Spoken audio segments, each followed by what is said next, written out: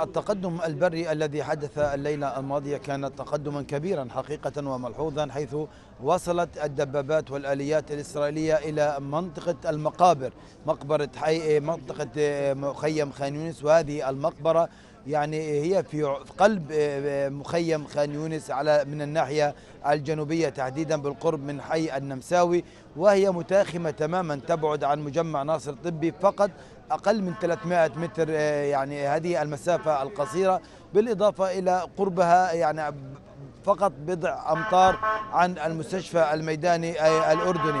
هذه الدبابات توغلت اولا بفعل يعني تحت غطاء مكثف من قبل الطائرات الحربية الإسرائيلية والغارات العنيفة والأحزمة النارية ثم تلا ذلك قصف مدفع عنيف. بدأت هذه الحملة من خلال قصف خمسة منازل دفعة واحدة ثم أحزمة نارية على الشوارع والطرقات وفي محيط المقبرة وعلى بعض الملاعب المعشبة. ثم بدأ القصف المدفعي العنيف على منطقة المنطقة الغربية منطقة بطن السمين ومنطقة الحاووز الحي النمساوي. وأيضا المخيم الغربي. هذه المناطق تعرضت إلى عمليات قصف عنيف من قبل المدفعية الإسرائيلية. هذا الأمر نتج عنه تقدم بري إلى منطقة المقبرة. تم تجريف جزء كبير من هذه المقبرة وأيضا تم سرقة عدد من جثامين الشهداء والأموات حيث تم نبش القبور وأخذ عدد من الجثامين من داخل تلك المقبرة.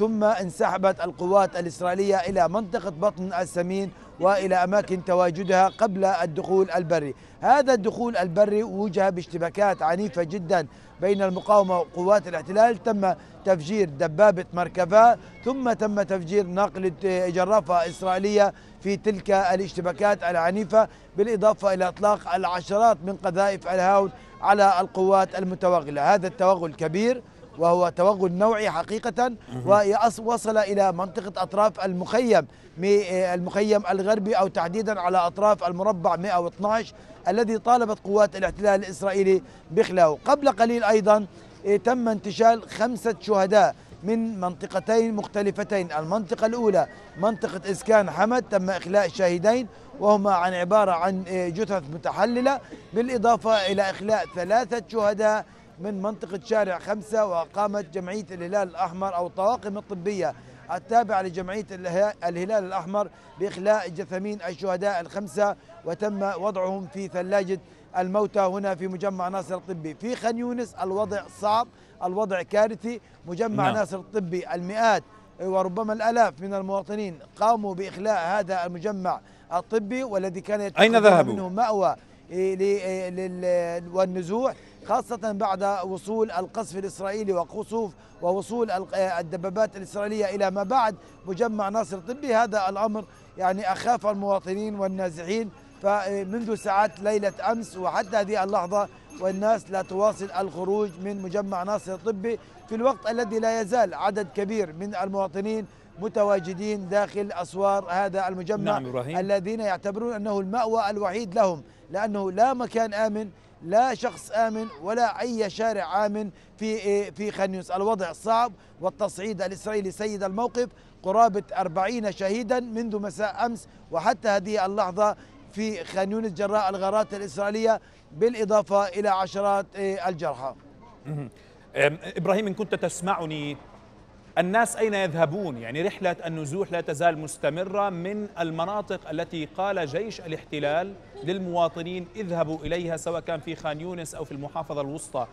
المشهد يتكرر في مستشفى ناصر كما تابعنا والمناطق المحيطة بك. أين يذهب الناس بعد أن يغادروا هذه الأماكن؟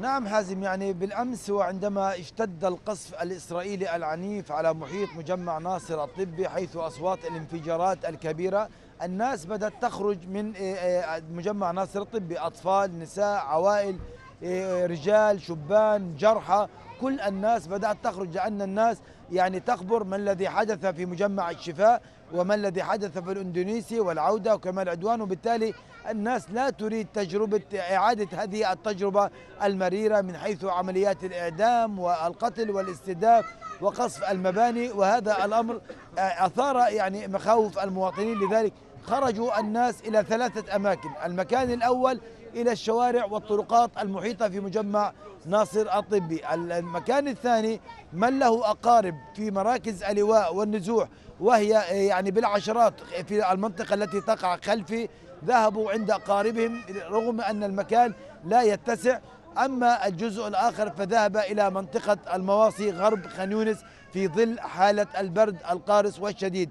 في صباح هذا اليوم ومنذ ساعات الفجر حقيقة الناس عدد كبير من هؤلاء المواطنين توجهوا جنوبا إلى مدينة رفح لعلهم يجدون الأمن والأمان المفقود لسكان قطاع غزة. لكن الوضع صعب لا أماكن آمنة لا في رفح لا في الشبورة لا في الزهور ولا في منطقة السلطان ولا حتى في منطقة المواصي هذه المناطق الأربعة التي ربما الجيش كان يزعم كاذبا وزورا بأنها مناطق آمنة آمنة ويدعو الناس إلى الذهاب إلى هذه المناطق. منطقة المواصي يوم أمس وأول أمس خلال الأيام الماضية تعرضت للقصف المدفعي ولإطلاق النار من طائرات الكواد كابتر وأيضا للغارات على خيام النازحين من بينها قبل ثلاثة أيام تم استهداف خيمة للنازحين لعائلة حبيب. أدى هذا القصف على شاطئ البحر تماما. هذا القصف أدى إلى استشهاد أربعة أطفال وإصابة أربعة من النساء يعني في هذه الغارة الإسرائيلية المميتة على هذه الخيمة التي تتبع أحد المواطنين. الوضع صعب وكارثي لا مكان آمن ولا أي يعني مؤسسة آمنة سواء كانت حكومية تابعة للأنوروا مستشفى يعني تابعة للهلال الأحمر تابعة لوزارة الصحة. كل الأماكن تتعرض إلى عمليات القصف وبالتالي الأوضاع الإنسانية والمعيشية صعبة ومعقدة منذ ساعات الصباح. نستقبل هنا المئات من المواطنين الذين يسألوننا أين نذهب إلى أين نتجه ماذا سنفعل؟ هل ستأتي الدبابات هذه الليلة مرة أخرى إلى مجمع ناصر الطبي هل سيقتحمون المجمع؟ ومع الأسف لا توجد نعم. لدينا إجابة لإجابة هؤلاء المواطنين الذين يشعرون بقلق بالغ من هذا التصعيد الإسرائيلي الكبير جدا على المناطق الغربية تحديدا في محيط مجمع ناصر الطبي. الدبابات توغلت دخلت إلى داخل المقبرة جرفت مقابر متعددة مقابر المقبرة التركية مقابر عائلة الاغا عائلة عوض وأيضا بعض العوائل الأخرى البيوك وبربخ.